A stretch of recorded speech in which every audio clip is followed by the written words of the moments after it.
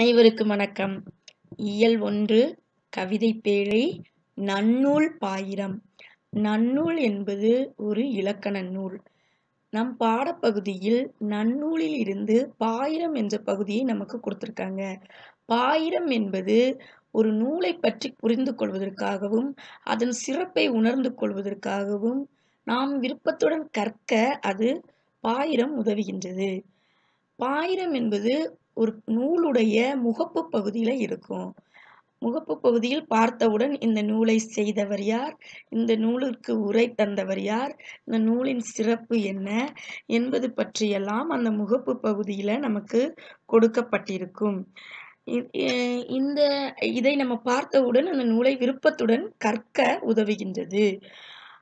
இது இந்த நூல் வந்து தொல்காப்பியத்தின் தொல்காப்பியம் என்ற முதல் இலக்கண நூல் இருக்கின்றது அல்லவா? அந்த நூலை பின்பற்றி அதன் உரைகளையும் பின்பற்றி எழுதப்பட்டதுதான் இந்த நன்னூல் என்ற நூல். இந்த நன்னூலில் பொதுப்பாயிரம் சிறப்பு பாயிரம் ஆகியனவற்றி ஆகியவன பற்றி குறி அதை பற்றி நமக்கு விளக்கமாக தந்திருக்கிறாங்க. இந்த இந்த நம்மளுடைய பாடப்பகுதியில் ஒரு ஏழு நூற்பாக்கள் கொடுத்துருக்காங்க. இந்த ஏழு நூற்பாக்கள்லையும் பாயிரத்தை பற்றி நமக்கு கொடுத்துருக்காங்க. நம்ம இந்த பாடப்பகுதியை பார்க்கலாம். பாயிரம் இல்லது பணுவல் அன்றே. பாயிரம் இல்லைன்னா நமக்கு நூலே இல்லை அப்படின்னு சொல்லிட்டு தலைப்பில் கொடுத்துருக்காங்க. முகவுரை பதிகம் அணிந்துரை நூன்முகம் புறவுரை தந்துரை ப- புனைந்துரை பாயிரம். அதாவது பாயிரம் என்ற பெயருக்கு ஏழு பாயிரம் என்ற பெயருக்கு ஏழு பெயர்கள் கொடுக்குறாங்க. இந்த பாடலில் பார்த்தீங்கன்னா இந்த ரெண்டு வரியில பாருங்க.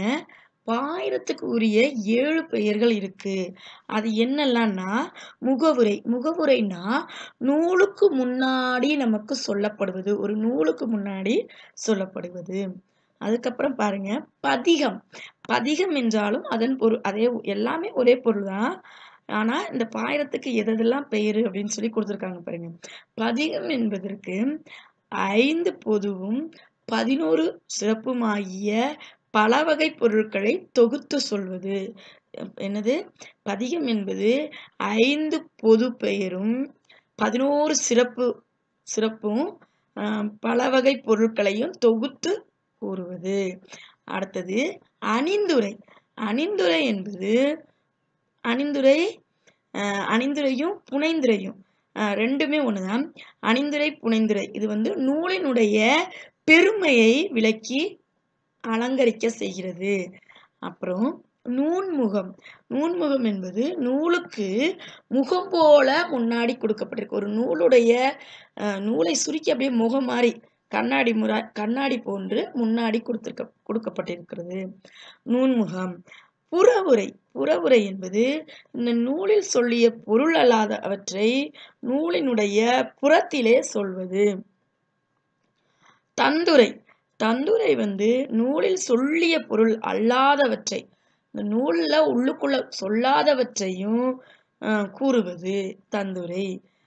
இப்படி முகவுரை பதிகம் அணிந்துரை நூன்முகம் புறவுரை தந்துரை என்று அஹ், ஏழு பெயர்களை கொண்டு உள்ளது. அடுத்தது பாயிரம் பொது சிறப்பு என இருபாற்று அப்படின்னா இரண்டு பொது பாயிரமும் சிறப்பு பாயிரமும் என பாயிரம் இருவகைப்படுமே என்று சொல்றாங்க. மூன்றாவது நூலை பார்க்கலாம். நூலே நுகழ்வோன் நுகழும் திறனே கொள்வோன் கோடல் கூற்றாமைந்தும் எல்லா நூற்கும் இவை பொது பாயிரம். அப்படின்னா இந்த நூலுடைய இயல்பு ஆசிரியருடைய இயல்பு கற்பிக்கும் முறை மாணவருடைய இயல்பு கற்கும் முறை என ஐந்தையும் கூறுவதுதான் பொதுப்பாயிரம்.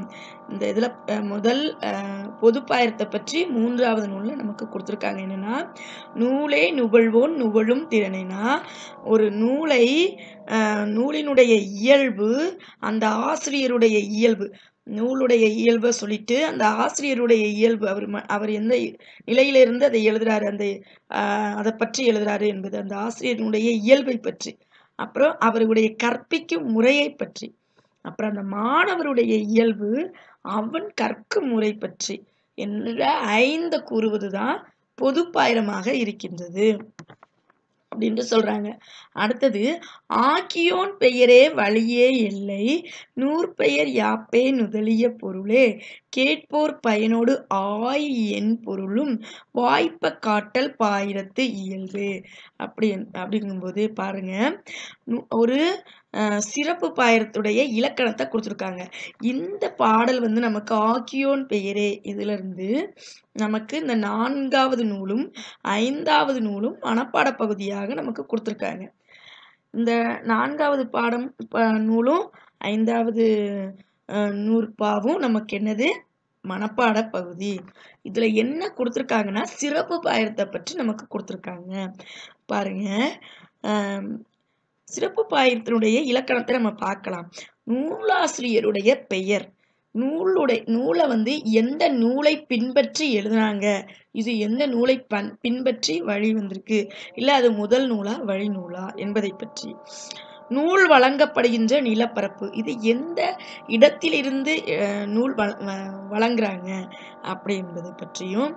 இந்த நூலினுடைய பெயர் நூலாசிரியர் பெயரை பார்த்தோம். அந்த நூல் வந்து பின்பற்றிய வழி எந்த நூலிலிருந்து எடுத்தாளப்பட்டுள்ளது என்பது. அதுக்கப்புறம் அந்த நூல் வழங்கப்படுகின்ற இடம் அடுத்து அந்த நூலின் பெயர். இப்போ அந்த நூல் வந்து தொகை வகை விரி என்பவற்றுள் இன்னதில் இயற்றப்பட்டது என்னும் யாப்பு யாப்பு பற்றி. அடுத்தது அந்த நூலில் குறிப்பிடப்படுகிற ஒரு கருத்து. அந்த நூலில் என்ன குறிப்பிடப்பட்டிருக்கிறது என்பதை பற்றிய கருத்து.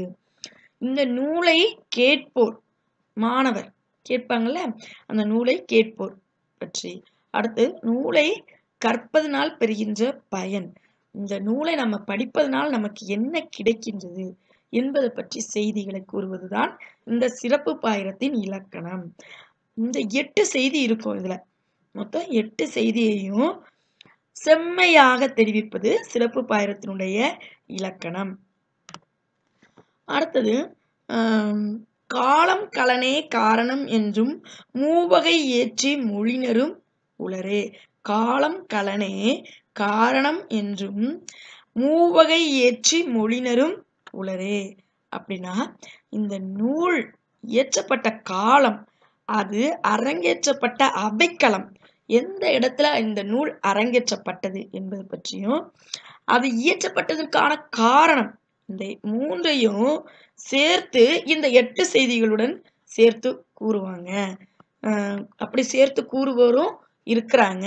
இந்த எட்டு மட்டும் சேர்ந்து சிறப்பா ஆயிரம் இல்ல. இதனுடன் சேர்த்து இந்த மூன்றை சேர்த்து கூறுவோரும் இருக்கின்றார்கள் அப்படின்னு அந்த நூல் எந்த காலத்தில் இயற்றப்பட்டது? அது எந்த இடத்துல அரங்கேற்றப்பட்டது? அது இயற்றப்பட்டதற்கான காரணம் என்ன? இந்த மூன்றையும் கூட சேர்த்து சொல்வாருங்கள் சிறப்பு பயணத்தில் கூறப்பட்டிருக்கும் என்று கூறுறாங்க. அடுத்தது பாருங்க ஆறாவது நூற்பாவில் ஆயிரம் முகத்தான் அகன்றது ஆயினும் பாயிரம் இல்லது பணுவல் அன்று. பாயிரம் இல்லது பணுவல் அன்று என்பது நமக்கு பாட இந்த பாடத்தின் தலைப்பாக கொடுத்தாங்க இல்லையா? அந்த நூலின் தலைப்பாக கொடுத்திருந்தாங்க. இந்த அதாவது நமக்கு இந்த ஆயிரம் முகத்தை பெற்றது போன்று பல்வேறு துறை செய்திகளை விரிவாக கூறினாலும் இதுக்குள்ள நம்ம இந்த நூல்ல என்னதான் நமக்கு பல்வேறு துறை செய்திகளை கூறினாலும் இந்த பாயிரம் என்ற அந்த முகப்பு இல்லை என்றால் இந்த நூல் என்னது? மதிக்கப்படாது அப்படின்னு சொல்லி சுருக்கமாக கொடுத்துருக்காங்க. ஆயிர ஆயிரம் முகத்தை பெற்றது போன்று பல்வேறு துறை துறை செய்திகளை விரிவாக அந்த நூல் கூறினா கூட பாயிரம் இல்லைன்னா ஒன்றும் இல்லை. அதாவது இந்த சிறந்த நூலாக அது ஒரு சிறந்த நூலாக மதிக்கப்படாது அப்படி என்று கூறியிருக்கிறாங்க. ஏழாவது பாருங்க. ஏழாவது நூற்பால மாடக்கு சித்திரமும் மாநகருக்கு கோபுரமும் ஆடமை தோல் நல்லாருக்கு அணியும் போல் நாடி முன் ஐதுரையா நின்ற அணிந்துரையை எண்ணூர்க்கும் பெய்துரையா வைத்தூர் பெய்தூரையா வைத்தார் பெரிது. மாடக்கு சித்திரமும் மாநகர்க்கு கோபுரமும் ஆடமைத்தோள் நல்லார்க்கு அணியும்போல் நாடி முன் ஐதுரையா நின்ற அணிந்துரையை எண்ணூர்க்கும் பெய்துரையா வைத்தார் பெரிது. இந்த மாடங்களுக்கு எப்படி அந்த ஓவியங்கள் அழகு சேர்ப்பிக்கிறதோ இந்த பெரிய நகரங்களுக்கு கோபுரங்கள் எவ்வாறு அழகு சேர்க்கிறதோ அழகிய தோள்களை கொண்ட மகளிருக்கு அணிகலன்கள் எவ்வாறு ஆஹ், அழை எழிலை தருகின்றதோ அதுபோன்று எல்லா நூல்களுக்கும் முன்னாடி இந்த அழகு தருவதற்காக சேர்ப்பதுதான் எது? பாயிரம். அணிந்துரை புலவர்கள் பெருமையாக இதை சேர்த்து வைத்தனர். அப்படின்னு சொல்லி இந்த ஏழு நூற்பாவும் பாயிரம் எதற்கு என்பதற்கு நமக்கு அழகாக பொது பாயிரத்தையும் சிறப்பு பாயிரத்தையும் பற்றி நமக்கு கொடுத்துருக்காங்க. இங்கே கூட நமக்கு கட்டத்தில் இந்த நன்னூலுக்கு முகப்பு பகுதி கொடுத்துருக்காங்க. அதை நம்ம எப்படி இந்த பா- இந்த முகப்பு பகுதியை பார்த்தோன்னே நன்னூல்னா என்னது? இதை எழுதியவர் யாரு? இதை ஆஹ் உரை செய்தவர் யாரு? இது எந்த இடத்தில் அச்சிடப்பட்டது என்பது பற்றி இந்த இதில் நமக்கு முகப்பு பகுதியில் கொடுத்துருக்காங்க. இதை பார்த்தவுடன் நம்ம விருப்பமாக வாங்கி படிப்பதற்கு ஏற்றதாக இருக்கும்.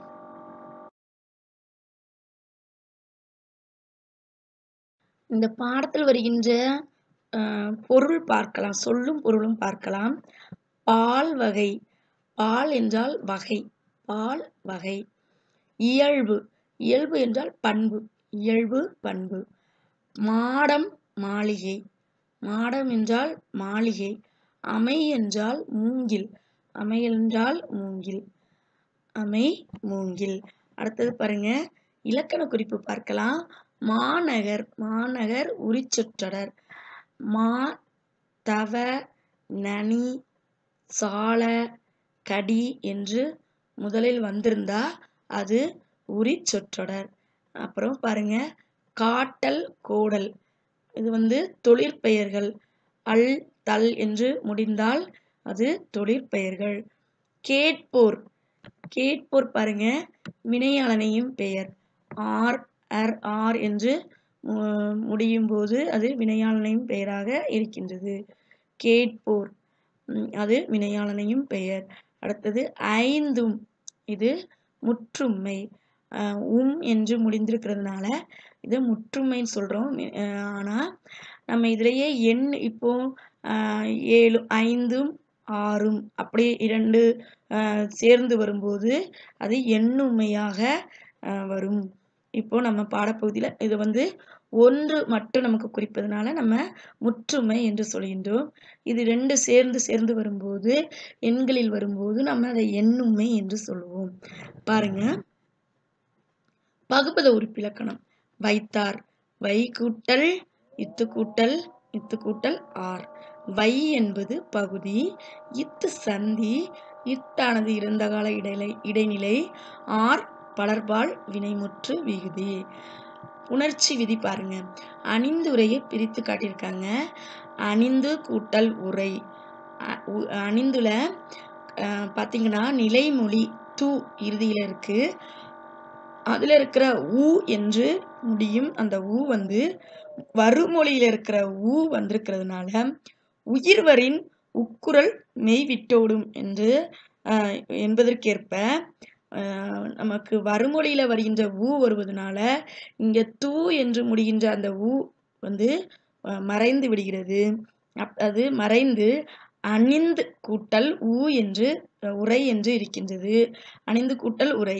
அதற்கப்புறம் இந்த இத்தும் இந்த ஊவும் பார்த்தீங்கன்னா உடல் மேல் உயிர் வந்து ஒன்றுவது இயல்பே என்ற விதிப்படி இத்து கூட்டல் ஊ என்பது தூவாக மாறி அணிந்துரை என்று நமக்கு கிடைக்கின்றது. அடுத்தது பாருங்க. பொது சிறப்பு. இதை நம்ம பிரிச்சோம்னா பொது கூட்டல் சிறப்பு என்று நம்ம பிரிப்போம். இதுல பாருங்க. இயல்பினும் விதியினும் நின்ற உயிர்மின் உயிர் முன் கஸ் கச தப மிகும் பொது சிறப்பு. அதாவது வள்ளினம் மிகும். நமக்கு இயல்பாக ஒரு ஒரு இயல்பினும் விதியினும் எந்த உயிர் முன் அஹ், கச தப மிகும் என்பதில் வந்து நம்ம இயல்பாக பிரிக்கும்போது பொது கூட்டல் சிறப்பு என்று இருக்கும்போது தகரம் அஹ், வல்லினம் இருந்தால் இங்கே வந்து அஹ், வந்து அஹ், வல்லினம் இருக்கும்போது என்னவாகும் நமக்கு? வல்லினம் அந்த இடத்துல என்ன வல்லினம் இருக்கின்றதோ வறுமொழியில் என்ன வல்லினம் இருக்கின்றதோ அதற்கேற்ற மெய்யெழுத்துக்கள் மிகும். க ச த ப மிகும். அதற்கு முன்னாடி வரும்போது ஒரு நிலைமொழியிலிருந்து வருமொழி வரும்போது அந்த வருமொழியில் வல்லினம் என்ன வல்லினம் இருக்கின்றதோ அது சேரும்போது நமக்கு அதனுடைய வல்லின ஒற்றுக்கள் மிகும். கசதப என்ற என்பது மிகும். பாருங்க. இயல்பினும் விதியினும் நின்ற உயிர்முன் க ச தப மிகும் என்ற சிறப்புப்படி நமக்கு பொது கூட்டல் சிறப்பு என்பது பொது சிறப்பாக சேர்கின்றது. கவனிங்க. அடுத்தது நூல் வழி பார்க்கலாம். நூல் வழி பார்க்கலாம். நன்னூல். நன்னூல் என்பது தொல்காப்பியத்தை முதல் நூலாக கொண்ட வழிநூலாகும். தொல்காப்பியத்தை முதல் நூலாக கொண்ட வழிநூலாகும். நான் முதலே சொன்ன மாதிரி ஒரு நூலை எழுதியிருப்பாங்க. அந்த நூலை பின்பற்றி அந்த நூலை முதல் நூலாக கொண்டு அதை தொடர்ந்து இவங்க அதை ஆய்வு செய்து இரண்டாவது நூலாக எழுதுவாங்க. அது நமக்கு வழிநூல் என்று சொல்லுவோம் இப்போ பார்த்தீங்கன்னா இந்த நூல் வந்து பதிமூன்றாம் நூற்றாண்டில் பவனந்தி முனிவரால் எழுதப்பட்ட தமிழ் இலக்கண நூலாகும். இந்த நூலில் எழுத்ததிகாரம் சொல்லதிகாரம் என இரண்டு அதிகாரங்கள் வகுக்கப்பட்டிருக்குது. எப்பவுமே எழுத்து சொல் பொருள் என்று அதிகாரங்கள் இருக்கும் அல்லவா தொல்காப்பியத்தில்? இதில் வந்து எழுத்ததிகாரமும் சொல்லதிகாரமும் கொடுக்கப்பட்டிருக்கின்றது. எழுத்ததிகாரத்தில் எழுத்தியல் பதவியல் உயிரீற்று புணரியல் மெய்யீற்று புணரியல் உருபு புணரியல் என ஐந்து பகுதிகளாகவும் சொல்லதிகாரத்தில் பெயரியல் வினையியல் பொதுவியல் இடையியல் உரியியல் என ஐந்து பகுதிகளாகவும் அமைந்துள்ளன. சீயகணங்கன் என்ற சிற்றரசர் கேட்டுக்கொண்டதனால் பவனந்தி முனிவர் என்று பவனந்தி முனிவர் இந்த நூலை இயற்றினார் என பாயிரம் குறிப்பிடுகிறது. இது ஈரோடு மாவட்டம் மேட்டூர் புதூர் மேட்டுப்புதூர் என்ற ஊரில் எட்டாம் தீர்த்தங்கரான சந்திரபிரபாவின் கோவில் உள்ளது. இங்கே பவனந்தியாரின் உருவச் சிற்பம் இன்னும் இருக்கின்றது. ஈரோடு மாவட்டத்தில் மேட்டுப்புதூர் என்ற ஊரில் எட்டாம் தீர்த்தங்கரான சந்திரபிரபாவின் கோவில் என்ற கோவில்ல இவருடைய உருவம் பவனந்தியாருடைய உருவம் இன்னும் இருக்கின்றது என்று குறிப்பிடுறாங்க. நாம கற்பவை கற்றபின் பார்க்கலாம். எல்லா வகை நூல்களுக்கும் அழகு தருவதாக வைக்கப்படுவது அணிந்துரை. எடுத்துக்காட்டுகளுடன் வகுப்பறையில் விவா விவாதிக்க சொல்லியிருக்கிறாங்க. எல்லா எந்த நூலை நம்ம வந்து தொகுத்தாலும் அந்த நூலுக்கு முன்னாடி இருக்கிறது என்னது? அணிந்துரை என்று நம்ம எடுத்து சில நூல்களை எடுத்துக்காட்டி அதை நம்ம வகுப்பறையில் விவாதிக்க கூறியிருக்கிறாங்க.